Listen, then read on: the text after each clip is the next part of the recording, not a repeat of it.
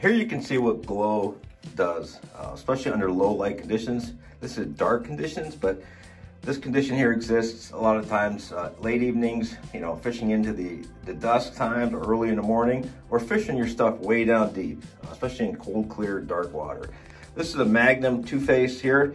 This is a morning spoon. We would typically run that almost every morning of the season until it peters out. Uh, we might combine that with a Crush Glow Green Dot or a Crush Glow Chrome.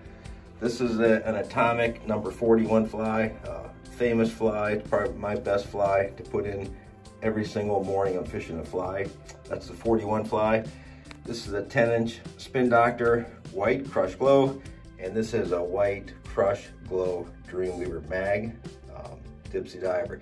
But here is what I'm talking about when you're looking for high vis morning programs that a fish can actually key in on and find your bait, whether he's attracted by this dipsy diver, the attractor, you know, a regular four millimeter diver, or flat out hones in on your downrigger weights or your cables and comes and tracks this two-face down in the morning and gobbles it.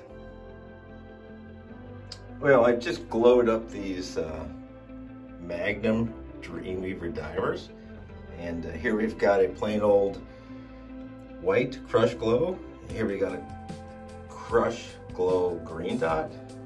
Wait, wait, we do have a black one. It is here.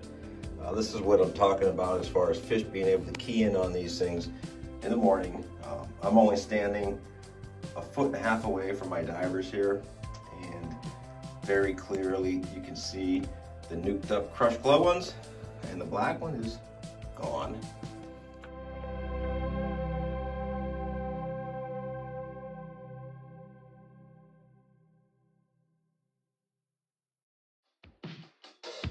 Okay, let's talk morning flashers. I'm gonna start on the left here with Kevin's Girlfriend, a popular Michigan 8-inch spin doctor. One side does not have glow tape. The other one has slick glow tape. I would not start out with this one in the morning in our world. Um, this would probably be a late morning, uh, evening flasher for me.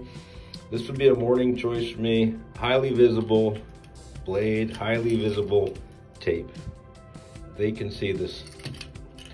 Here we got a black blade with Crush Glow dots, um, a Canadian special.